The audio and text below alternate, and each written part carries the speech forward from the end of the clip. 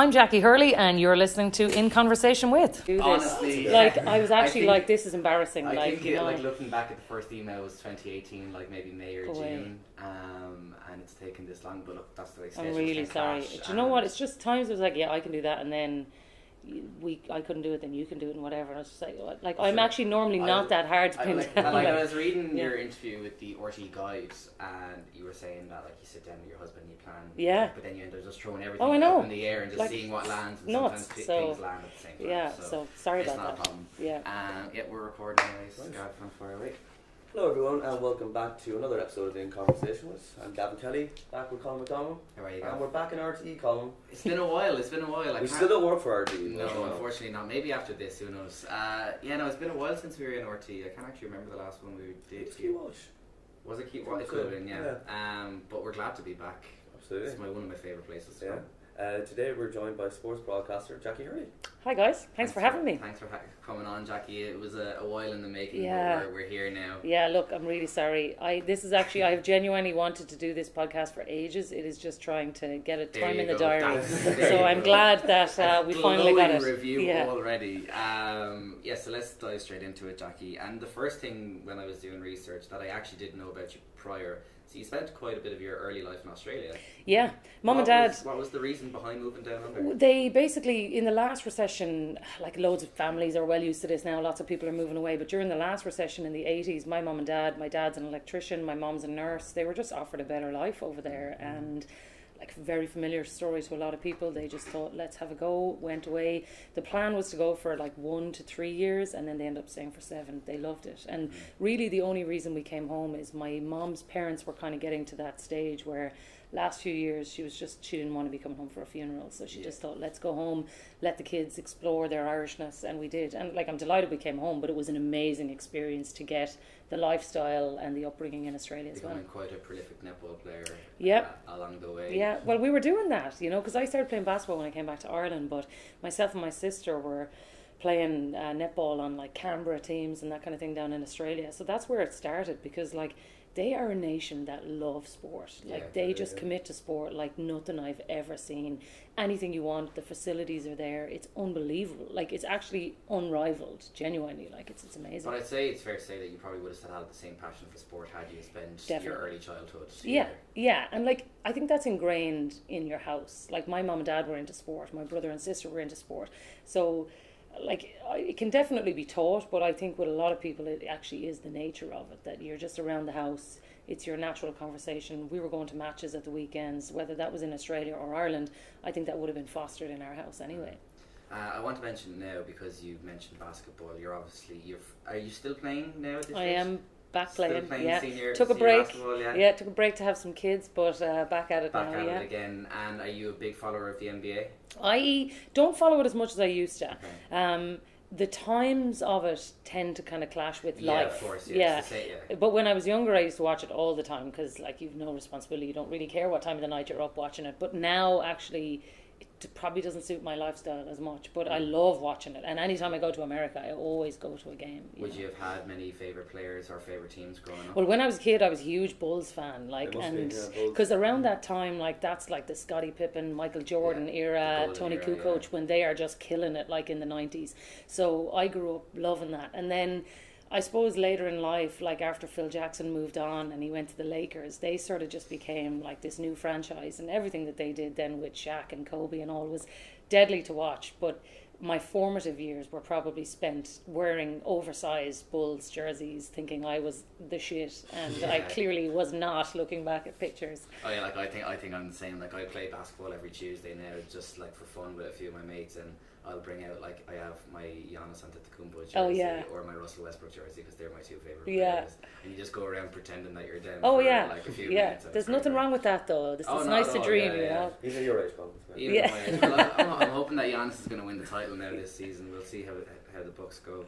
Um, Uh, Jacqui was so of course sport was obviously a big interest when you're young, but was media, you know, journalism, presenting was that a thing that you had to grow into, It- or it pro- it was something I was always interested in. Like I was always fascinated about the news and that. Like my mum and dad used to say when I was a kid, I used to walk around with the TV set up saying, you know, telling them what match was on or whatever. So I was probably always into it, but I don't know if I saw it as a career. Like mm-hmm. until probably even I'd say when I was in college. Like when I was in school, it was something that I spoke to my career guidance teachers about, and like.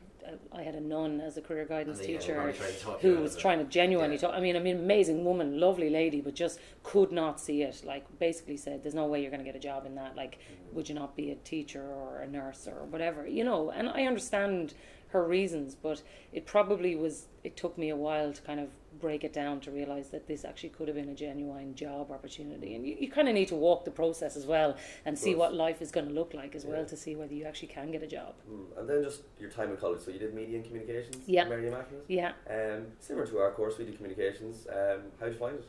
I loved it. The reason I chose that one actually is because there was a third year off campus, Right. and the big thing to me was, I suppose in this industry, trying to get the experience is the hardest part. And I find even talking to students these days, you know, a lot of places don't do work experience programs, so it's really hard to get in. So I had seen that there was a co-op year where you could either work or study, and I thought, you know what, I'm going to do that, and I'm going to take a year abroad working because by the time I do that, I'll be able to come back and I'll have like real world experience. So um, I went to America, did my internship over there, and by the time I came back when I was in fourth year, I was I kind of had the jump on a lot of my peers because. I had actually worked in a newsroom for a year. I had done everything from like running tapes to auto cue to presenting. Like so, it actually that's probably the reason why I have the job I do now because that kind of the background in getting the practical work was the big thing. So I loved college for that reason. Yeah. You know. Yeah, and I read that you were um, you did uh, your work experience in in Mississippi.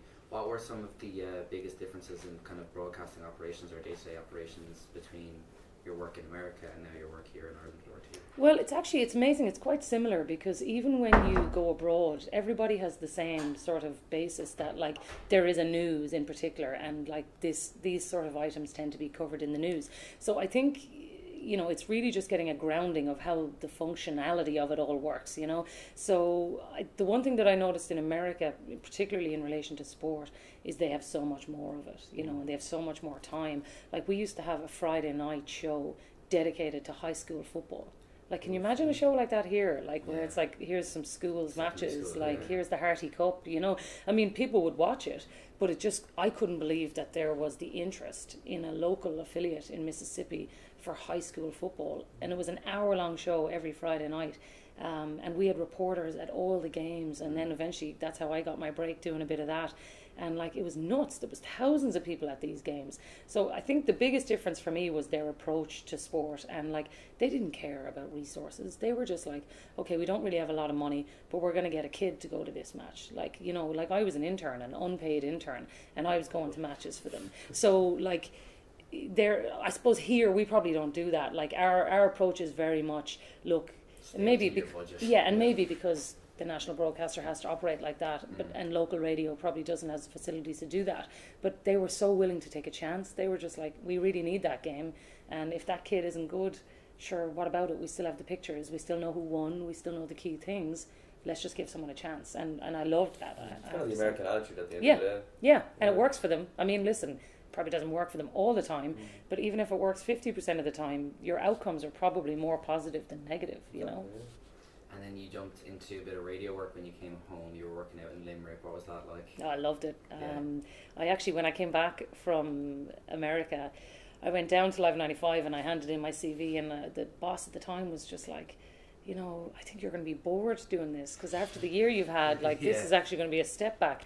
And I was like, no, no, no, I really want to do this. And like, I was so kind of enthusiastic that I, I probably was nearly too enthusiastic for him. I'd say he was thinking this one's nuts, but like, I was actually like, I'll do anything, you know. So I was like driving the shadow crew jeeps at the weekend. I was doing like traffic reports, and then myself and Muireann O'Connell, who works in um, Virgin Media now, we used to do a show together then uh, called the Hot Mix, and it was just like this pre-recorded Friday night show. But we'd just get into studio on a Friday afternoon and just act the maggot for an hour, record some links, and throw it down. It was just really varied, but I loved it. And actually, you we got so much experience because like that now we were just given a chance and said let go you know you're young go for it and we made lots of mistakes like i had some crazy times like i was driving the jeeps in the space of one week i accidentally put petrol into a diesel car which like was a very expensive mistake Yeah. um, nearly wrote off a car on a Friday. Uh, the CEO had to come and bail me out, which wasn't a, a pleasant phone call to make. And then a week later, the the handbrake on the Jeep wasn't great, and I was parked on Henry Street. And anyone knows Henry Street in Limerick, there's a big ramp outside it, and it like goes right down into town. And uh, I jumped out of my Jeep and I was walking back to talk to Muireann to ask her a question. Next thing I saw the Jeep barreling down Henry Street. I'm there chasing after it in a pair of flip flops in the middle of the summer. And next thing it smashes into these cars. And I looked down and I was like, oh, it's outside the Garda station. And I was like, okay, sure, that's grand. I'll just go in and I'll tell the guards, listen, I'm really sorry, this the handbrake is faulty on this yoke. So I went into the Garda station and I was like, look, we're after smashing into these cars here. I just need to identify who owns the cars. And they were like, oh, don't worry, we know who owns those cars. They're unmarked Garda cars. so uh, I probably should have lost my job for that as well. But thankfully, my CEO was very understanding. So Yeah, and the career continued then from from there. When did the national broadcaster?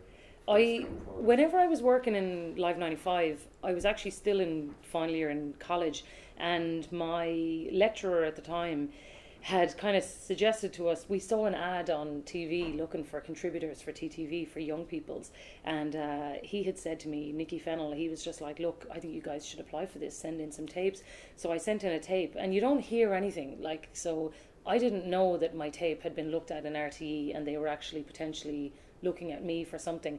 I just got a random phone call out of the blue from this producer in RTE who still works here called Teresa Smith. And she said, Hi Jacqui, I got your tape from the talent pool and we'd love you to come and audition to be a um, contributor on TTV.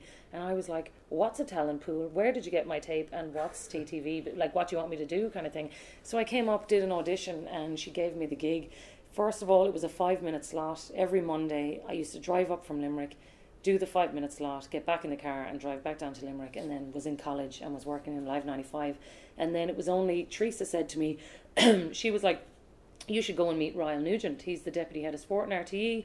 I think he'd really like you. You should go and have a chat. And I did, and just said to him, Look, I'd really like to work in production. Like at that point, I didn't really know if I wanted to be presenting or behind the scenes and I kind of had said to him look I'd love to work as a, a sub editor or a researcher or anything you might have and um, we had a chat and he gave me a job as a sub editor which I freelanced doing that for a couple of years. And it was actually only having conversations like I distinctly remember one that I was having with Ray Houghton. I was working as a sub editor on the Premiership when we had the rights to that. And Back we in were the good old back days, in the good old days when we had money and rights and things. And um, I was sitting chatting to Ray and uh, he was saying we were having a row about something like a good row like one of those ah he's better and you know this lad is playing out of position or whatever. And Ray said to me look you're wasting your time having these chats out the back here. Like why are we arguing you know in the production office when you should be having this row on air? Like this is the kind of stuff that we want to be talking about.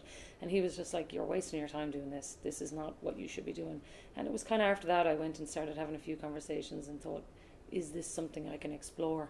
And then thankfully my bosses were receptive but it was genuinely the support of those kind of people that you wouldn't expect that kind of are the ones who are nudging you in the right way saying like you should be doing this which was really good really. yeah yeah it was it really was Uh, that's actually raises an interesting question because a couple of the guests that we've talked to in RT, they always kind of are able to point to one person that really guided them in the career. For example, like Joe Duffy as well, many people have Gay Byrne, of Mhm. course. Was there somebody like that for you? Um, God, there was lots of them.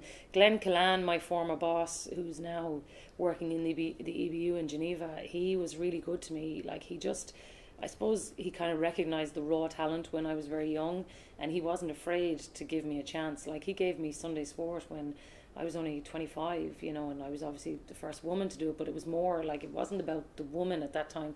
It was for me, it was that I was the youngest, you know, and I'd, I went from presenting a four minute bulletin to doing a four hour radio program pretty much overnight. And he took just took a chance on me. He just was like, "Look, you're ready for this. You'll grow into it. You're going to make mistakes." But he was very confident that I whatever happened, I'd be able to get over it. And so I'm always grateful to him and Paddy Glackin, who was uh, my boss in radio at the time. That both of them took a chance. And then, like I always go back to Teresa Smith because at the end of the day, I wouldn't be in RTE if she didn't pull my tape out of that TTV slot, give me the five minute slot in the first place that brought me here. Because I genuinely think if she didn't, I would have been quite happy working in Live 95 and I would have stayed doing a show there or I would have went back to Cork where I'm from or whatever. And I actually would have been quite happy in local radio. I, wasn't I didn't have a bursting ambition to get to RTE necessarily. I just enjoyed the job. So so i will always be grateful to those people for that. Well Jacqui this past summer you were given a huge opportunity in being a forefront of the Women's World Cup coverage.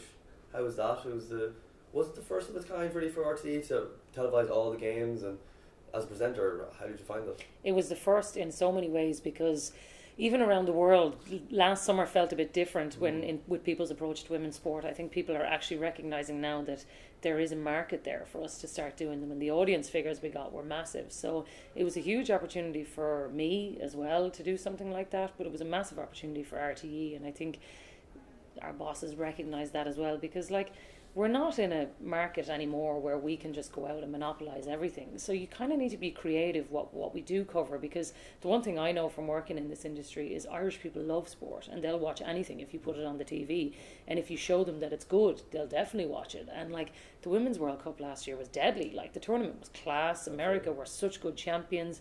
The Netherlands were brilliant to watch. I know it was disappointment that Ireland weren't there, but actually when you have a tournament of that caliber and you're watching it there was one or two games at the start that were, you know, heavily weighted in one side, but after that, it got really good. So it was a massive opportunity, and I loved it. And in terms of, you know, the men's World Cup was the year before. Was there any strategy with this World Cup last year to make things different, make it feel different, not just you know it's it the World Cup the women's version, but uh, yeah.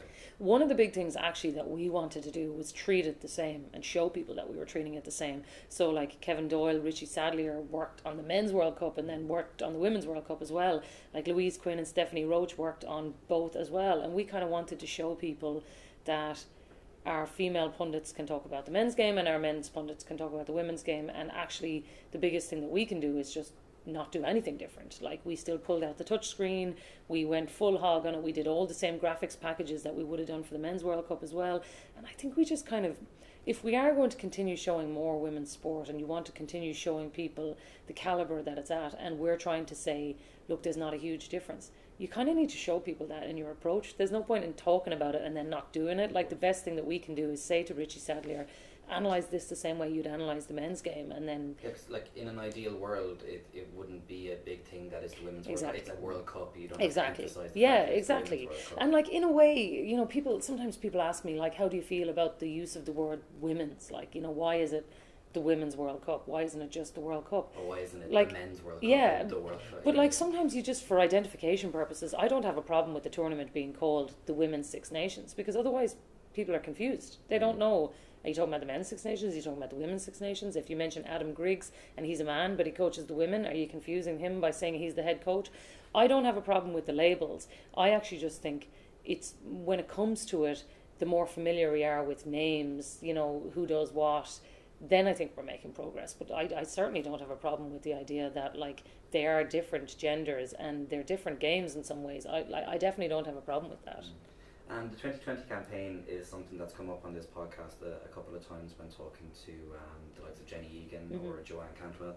Um, I just want to kind of get uh, a sense of what you think your role is within that campaign as a pretty prominent broadcaster.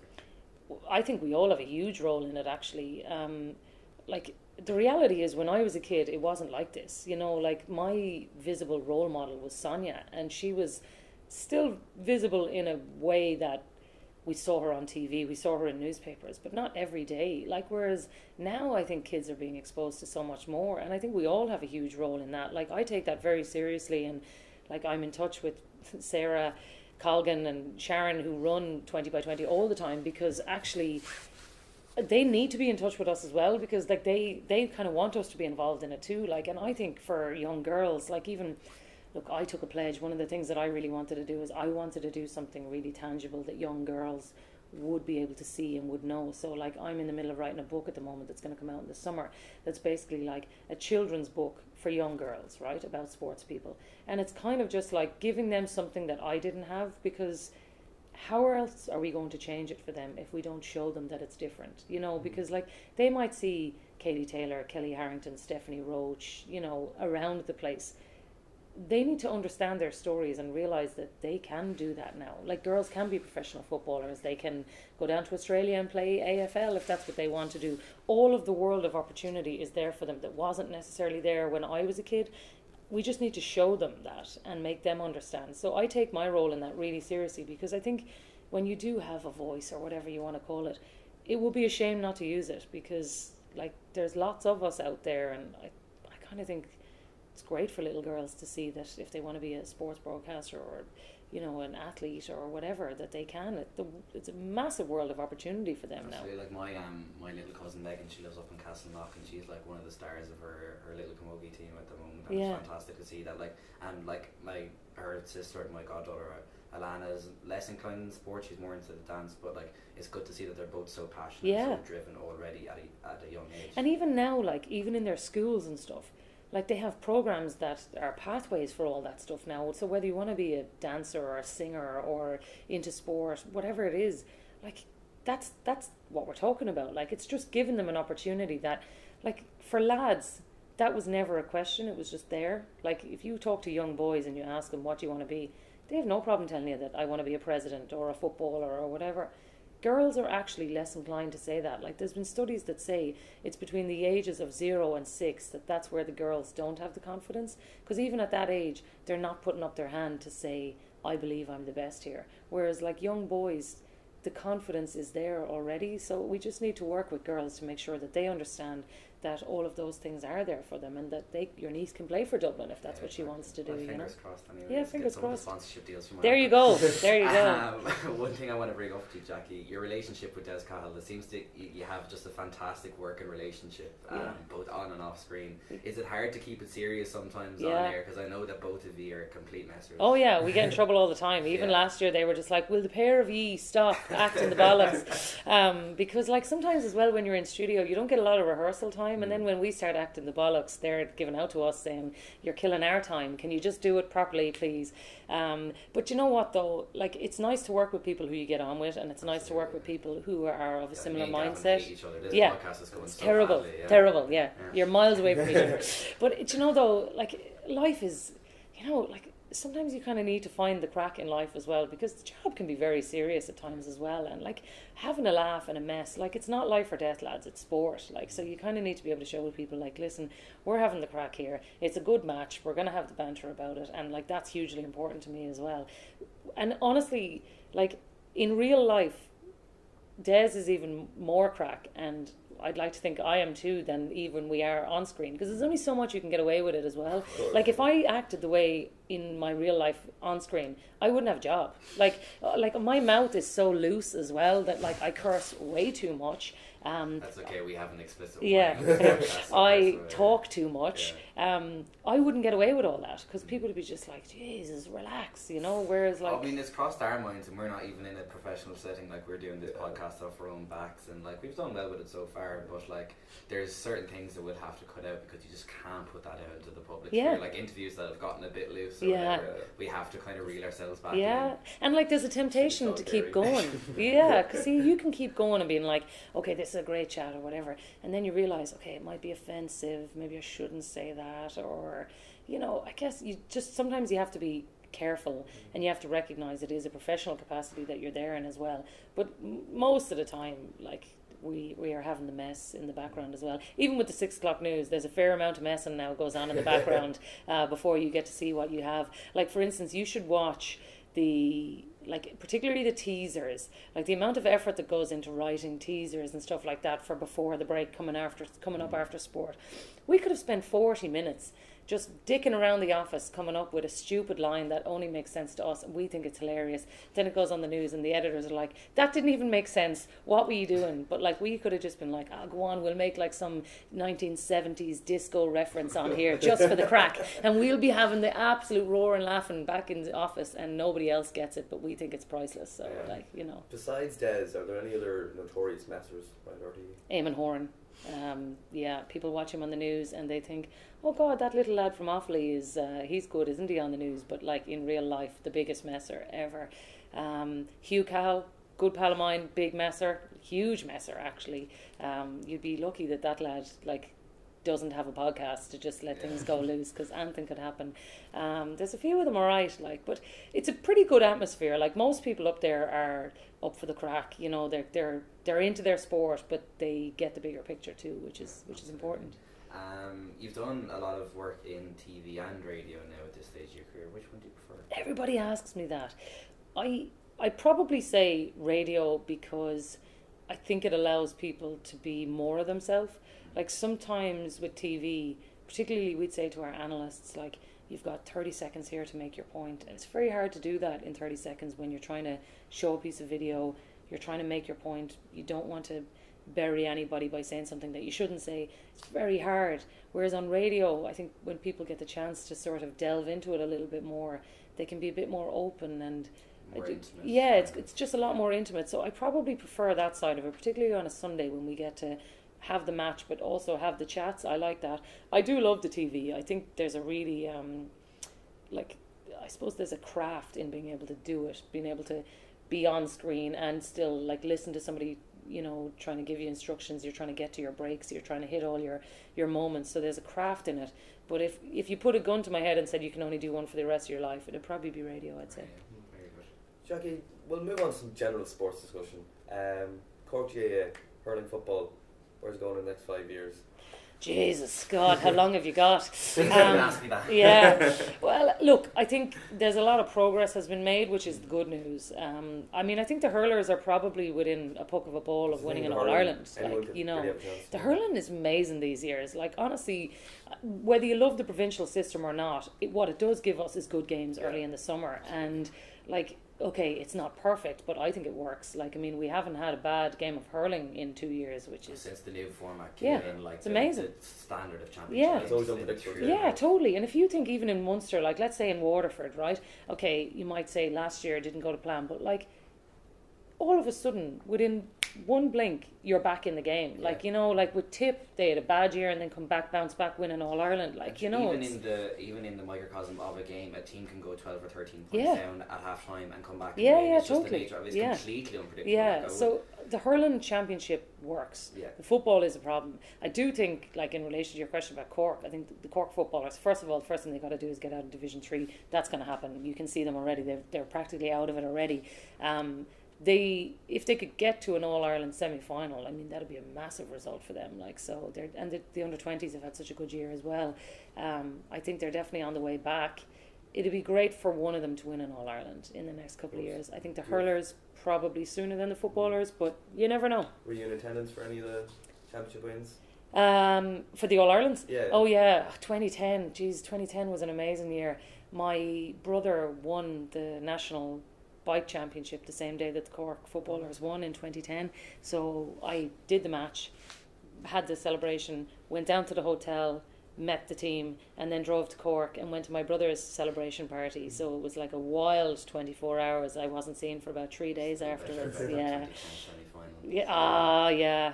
Yeah. Yeah, sorry, my dad. My dad's from Dublin, so I've been su- supporting the footballer since. I Right. Okay. eight But sure, years that was the breakthrough came the year after. exactly. Yeah, it was, so- it was nearly the catalyst. Jeez, we're like- nearly putting you back in the bag now since then. well, yeah, like, that's the next question. Dublin 2020. oh God, like I mean, I'm living up here now, and all I'm listening to, like, my son joined Kilmacud Crokes last September, so obviously their club is fairly predominant in all of it as well, and all I'm listening to is, oh, we're buzzing for the half dozen now and all this.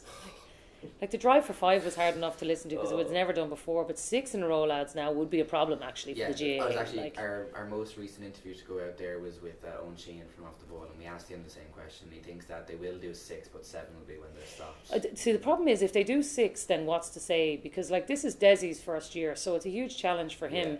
But you get he's probably got like a little bit of the overhang for the players from the last time, but he is building a new program. If he does mm. six, he could easily do seven, mm. and then it's a problem. I think if Dublin were to continue on this run, it is actually genuinely going to become a problem for the GAA because the Tier Two Championship, we don't know yet how successful it's going to be. And if you've got one team dominating one championship and then tier two suddenly seems miles away from that, I think that's difficult. To be honest, I mean, I know as a Cork person you'd hate to say it, but for Kerry to win in All Ireland actually this year would be great for the GAA because it would be the sprinkling of a brand new team. It'd be the sparking of an old rivalry between Dublin and Kerry again. Tyrone are very close after the lads coming back from Australia and not going and not going away in Cathal McShane's case. So I think there are teams that could challenge Dublin. Personally, I think it would be a good thing for one of them to win it, but you Well, know, ha- yeah, well, like we'll have to see. Obviously, you can't really judge anything right now because Dublin in the league and Dublin in the championship are two completely, Completely. different team, teams. Yeah. So you have to take. Well, after the league as well, they're not going to have a, a competitive game like properly again until July because they're going to blitz all before them again in Leinster, and then we'll have to wait for the Super Eights and then see what it throws up. And it really depends then on who they get in their group as to what happens. So it's very hard to see what they're like, you know. Very true. Just One re- I'm say, yeah. For- I'd say we'll just go a couple of more. Uh, we'll just wrap up and it's five Yeah, no minutes. panic, no yeah, panic. brilliant.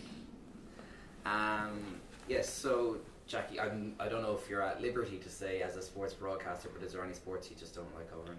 There's none that I don't like covering, but there are some that are more challenging than others. Like when it comes to racing, for instance, like that's an industry rather than just a sports interest. And if you're not in Tipperary on a Tuesday, it's very hard to know the form and see like where horses are being run. Are they put there on purpose? Is somebody just trying to see them? Like so, it, that is always a one sport that I always have to ask an opinion on because I wouldn't have the background knowledge to know everything there is to know about it. Like Hugh a good pal of mine, and he does a lot of the racing. So I'd often ring him and be like, "What's the story here?" Or Ruby Walsh, and just ask them because sometimes as well, I think in this.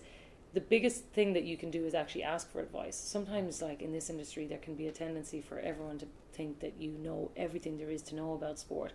And probably early on in my career, I would have just never asked any questions and just tried to get by like that. Whereas now I'm actually l- much more inclined to pick up the phone and ring somebody who is an expert in that field and say, like, if it comes to snooker, let's say, ring somebody and say, listen, what's the story with your man? Does he have any chance here or whatever? Because you can't be an expert in everything, like, you yeah, know.